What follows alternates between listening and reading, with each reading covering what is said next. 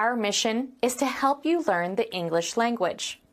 We have created easy to follow free educational materials for those seeking knowledge of English. Do you really have to work today? Yes, I'm afraid so. But you'll miss out on the football game. Oh, well, it can't be helped.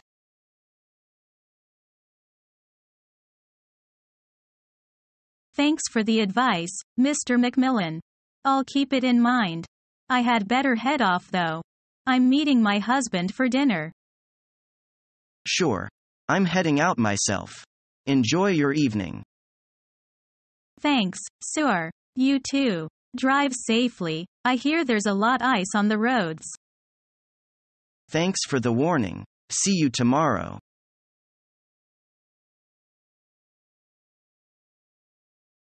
We'll get a big bonus this year, won't we? Don't count on it.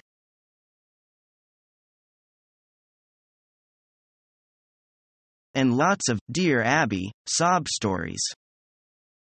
Hey, I learn a lot from the psychologists who give advice in those columns.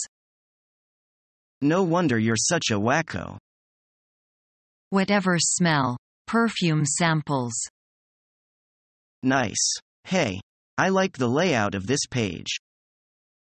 You mean, you like the pictures of the beautiful models hello?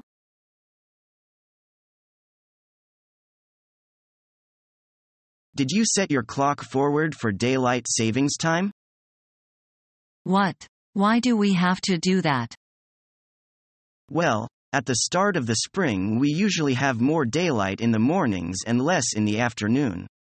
This is basically due to our position on the planet and the rotation of the Earth.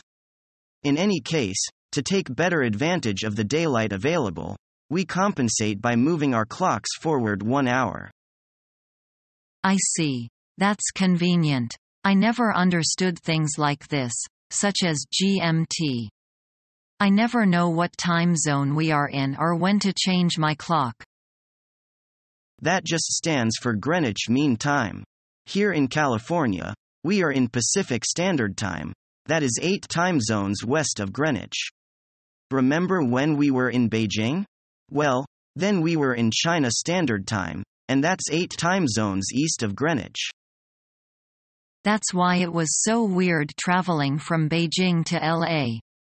Because of the huge time difference, even though we left Beijing at noon and flew for more than eight hours, we still arrived in LA the same day at noon. It's like we went back in time. Our mission is to help you learn the English language. We have created easy to follow free educational materials for those seeking knowledge of English.